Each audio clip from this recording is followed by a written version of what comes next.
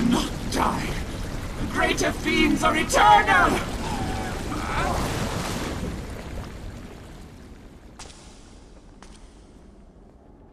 So, Dragon Ninja, would you like to know where the Archfiend will be reborn?